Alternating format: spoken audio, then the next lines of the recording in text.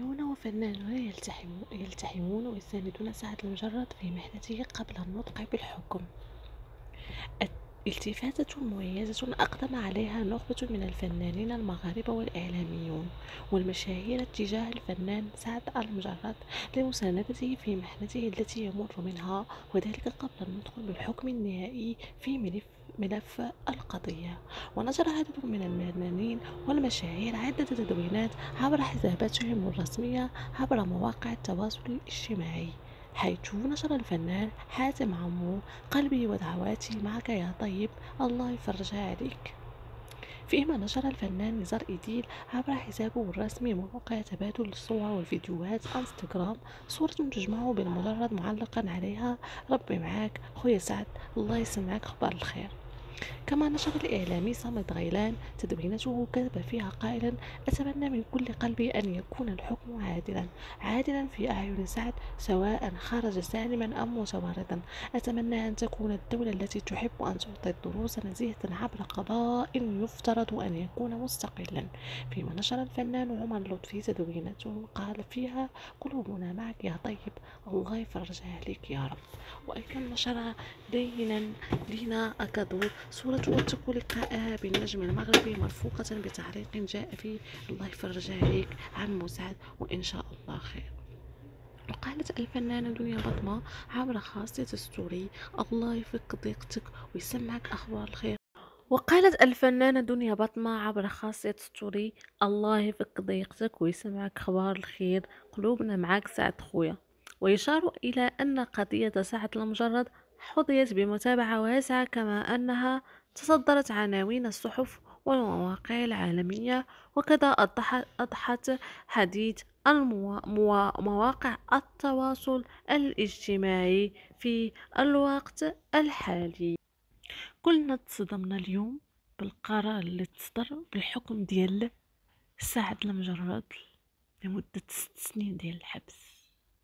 تخيلوا معايا أن قضية من 2003 من 2016 حتى ل 2023 عاد تصدر الحكم.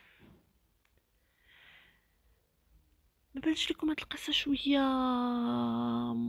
شوية فيها واحد علامات استفهام كبيرة. ما بانش لكم أنه آه كيستهدفوه أو أنهم باغيين يحطموه. ست سنين ست سنين صراحة راه طويلة بزاف. سنين ست سنوات. ما قليلاش. كيفاش أن دولة أوروبية في القانون ديالها أن البنت وصلت 18 عام تتولي حرة دير اللي بغات. وهذا لا يعقل أنها مشات معاه برجليها وبكل قواها العقلية. بالغة. واتهموا أنه اغتصبها هذا راه ماشي اغتصاب. تاني حاجة انهم مشاو للاوتيل ما مشاوش لشي بلاصة اللي هي مسدودة أو شي خلخ أو شي حاجة باش تقول أنه اغتصبها آه، غصبا عنا. هادشي فيه بزاف المؤامرات وف داخلين فيه بزاف الناس. كيفاش أنها آه يتعرض عليها مبلغ نقول لك مبلغ خيالي وترفض يعني أن بزاف العلامات استفهام وصراحة هذا القرار ماشي في محلو ماشي ماشي ماشي عادل. كنظن أن هذه القضية داخلين فيها بزاف الناس ومؤامرة حيت شافوا ولد مغني عربي طلع للعالمية بواحد الطريقة خيالية. كل العالم أنه كتهضر عليه العالم كامل كيغني أغاني اللي ترجمها اللي كيغنيها اللي كيقلد الرقصه ديالو. بزاف د الحوايج. علاش زعما حيت هو عربي ما خصوش يطلع للعالميه غطى على شحال من واحد. صراحة خصهم يعاودوا إعادة النظر في هذه القضية ويشوفوا الصراحة آه، يشوفوا يصنتوا لهم بجوج. ضروري ما غتكونش هي حاجة اللي غتخليه يتبرأ.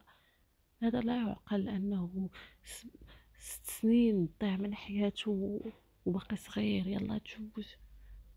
الحشومة الصراحة كنا تصدمنا.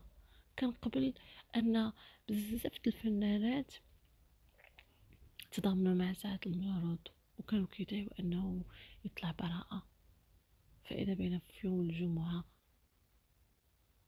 كيختار قرار صادم وسطنا كاملين.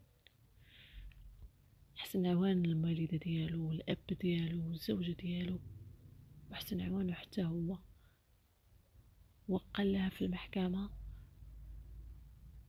من 2016 وهو مدمر من 2016 هو في حالة نفسية صعيبة.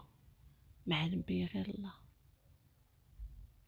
كنتمنوا أن في هذا الاستئناف في هذه مدة عشر أيام يلقاو شي دليل وتصدر البراءة ديالو وكنا معاك. أسعد المجرد. إلى اللقاء.